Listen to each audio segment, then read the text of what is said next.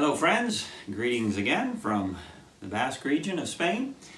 We are having a beautiful day out there today after a good number of days with rain. It's good to see the sunshine and all the green, and I can see cattle, and there's sheep and goats out there. So it's a, it's a pretty day outside.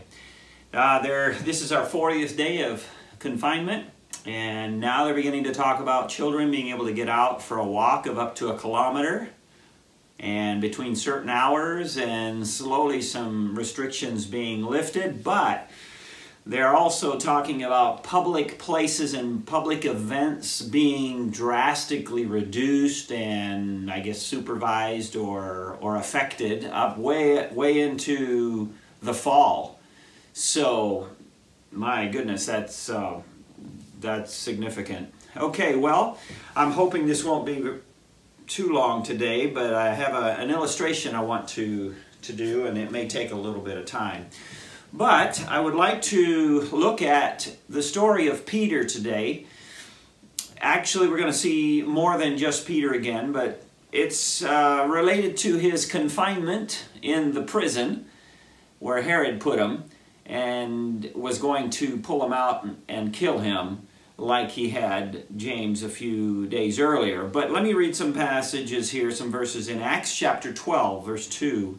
And he killed James, the brother of John, with the sword. And because he saw it please the Jews, he proceeded further to take Peter also. Then were the days of unleavened bread. And when he had apprehended him, he put him in prison and delivered him to four quaternions of soldiers to keep him, intending after Easter to bring him forth to the people. And then verse 11, And when Peter was come to himself, he said, Now I know of a surety that the Lord has sent his angel, and hath delivered me out of the hand of Herod, and from all the expectation of the people of the Jews. Okay, well, he was in confinement. We're not sure how many days, but not, not very long. But uh, let's look at some background of this passage where, where Peter is put in prison. James, as we read, was killed by Herod's sword, and the Jews are happy. And so he, because of that, he proceeds to get to get Peter. Is basically what we read. Now, one thing of context here, right before this passage, there is some explanation that is interesting, and that is that Stephen's martyrdom had sparked a persecution that had spread believers all over the place and was specifically responsible for the establishment of a church way up north in, in Antioch. And at this moment, when this story is happening, the church in Antioch, which has grown substantially, is sending help to the church of Jerusalem for the suffering they're going through. And so God is always doing way more than we think He's doing. And so the passage gives us a little bit of that. Okay, I want to look at three, basically three people. Though Peter's confinement is the focus or the event around which everything is is uh, is turning, I guess you could say. First of all, Herod, Herod, this Herod here is Herod Agrippa, and his grandfather was Herod the Great, the one who who's related to the, the Bethlehem slaughter of the babies. Okay, so this is his grandson.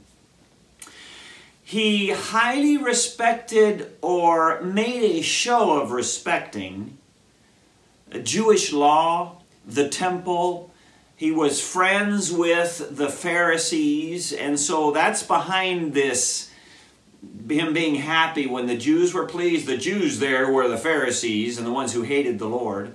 And so he hated Christians and he realized that it was to his favor to, to go after them.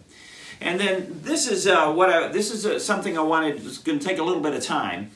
His death, Herod's death, you may remember that he died at the end of this chapter, eaten of worms at a place called Caesarea. So I'm going to throw up some pictures because Josephus gives us a very interesting account of what happened. And I'm going to make it as short as possible. But in, in 2007, when we were able to go there with our co-workers, the Alvarez and, and, and Bill Patterson, one of the places we went to uh, was what was left of the the theater in Caesarea where Herod went on this occasion when he died. And I'm going to th throw up a picture, two pictures. One of them, I am on the stage where Herod would have been giving his speech to the people of Caesarea. They are in this big amphitheater that I'm not going to show a picture of that, I don't think. But he, as he stands where I'm going to be standing in the picture, he is facing east. And as he gives this oration, two important, two important things come together. First, he is dressed in a coat of silver mail. I think you would say it that way. Tiny little silver leaves. He is completely in, in, a, in a coat of arms or whatever you would call that with tiny little silver pieces. And so he is looking at the people, and right as he is giving his oration, the sun peeks over the top of the of the theater of the where the people are seated, and the morning sun comes over and hits him. You know, on his with with what he is dressed. And so when I was there, I wanted to do an experiment. We got there, and I had forgotten to take a mirror. And so I asked, and the only one, the only mirror we had was a tiny little mirror, about that big, that Tete had in her purse. And so she gave it to me. Then Juan went up into the um, up into the stands and took these pictures. So I moved this tiny little mirror, about two inches by two inches, maybe something like that, until it just right reflected the sun. Now the sun wasn't right where it was that day with Herod, it was higher, but still the, the effect is the same. Notice what one tiny little mirror looked like when the sun hit it, and imagine him being coated completely in a silver in a silver garment. And so when the sun hit him, the people began to say, It's a God, it's a God, it's a God. And he accepted that. And God, the Bible says the angel of the Lord killed him instantly, immediately. Well, he didn't die immediately, but he was instantly um, hit uh, by the Lord, and he died just a few days later. So that's the background. And so uh, they're the pictures up there. At some point of the story, I'm going to put them up there so you can see what one tiny little thing. And imagine a guy dressed in polished silver. Okay, well, so much for Agrippa. Let's leave it at that. Okay, James, and this is where this is where the devotional gets a little somber. James is killed I think it's there, verse 4 or so. He is the first, or 2, he is the first apostle to die, the first martyr among the apostles, and his death is 12 years after, basically, 12 years after Stephen's. So there's been quite a number of years have gone by. And he dies there, I think it's in verse 2, isn't it? Uh, yes, it's in verse 2. He dies and that's it. There is absolutely nothing more said about him.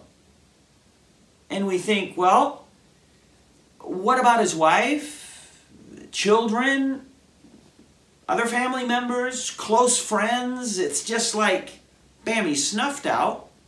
At least in, in Stephen's case, we, we know a little bit what happened after, but not with, with James. It is, he is simply cut off.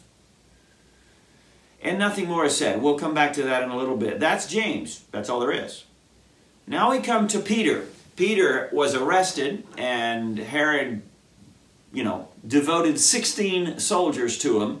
And apparently, in groups of four, they went 24 7. Uh, two of them right by him, and two of them at the door, and they watched him for, for you know, 24 hours a day until Herod was going to pull him out and, and kill him, execute him publicly.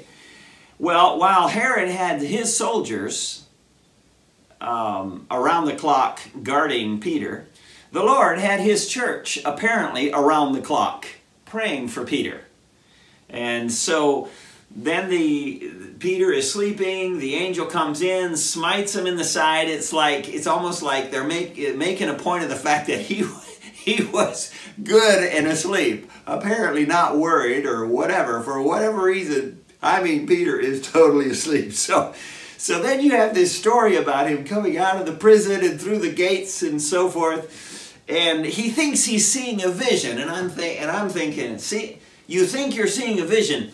Are you asleep thinking you're seeing a vision? Are you awake thinking you're asleep and watching a vision?